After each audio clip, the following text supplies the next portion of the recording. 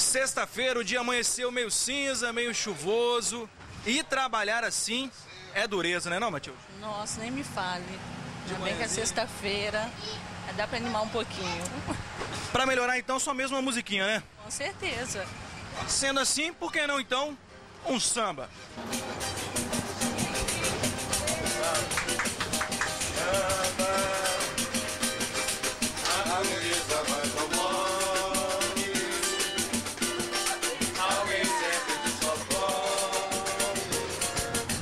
Melhorou a sexta-feira? Nossa, como melhorou, gente. Tô até mais feliz. Nem sabia. Vai encarar o serviço agora. É, daqui a pouquinho, daqui a pouco tem que soltar. Eu queria dar a volta. Matilde teve que descer, mas a viagem continuou. Tudo para comemorar o Dia Nacional do Samba, celebrado hoje, 2 de dezembro. E cada passageiro da linha 172 Itararé rodoviária que entrava no ônibus tinha uma surpresa. Uma boa surpresa.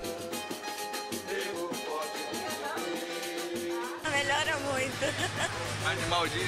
Anima. Pra quem vai trabalhar, né? Muito bom. Sambinha de raiz para animar o dia e também despertar nessa sexta-feira. É bom pra acordar. Ó, isso mesmo, já tá meio. Fica meio. Amanhã, esse diazinho feio, maneiro, podia ser todo dia. Animado. Só pegar um todo dia de manhã assim. Como o ônibus não para, só mesmo nos pontos, sambar fica complicado. Mas para tudo dá-se um jeito. Dia Nacional do Samba é isso aí mesmo, alegria, é cultura. E você que tá em casa também pode sambar com a gente, só vir, ó. Tamo junto, ó. Uma viagem de ônibus privilegiada. Deu até inveja em quem estava nos outros ônibus. E a música não para. O busão cortando a cidade e o samba comendo solto.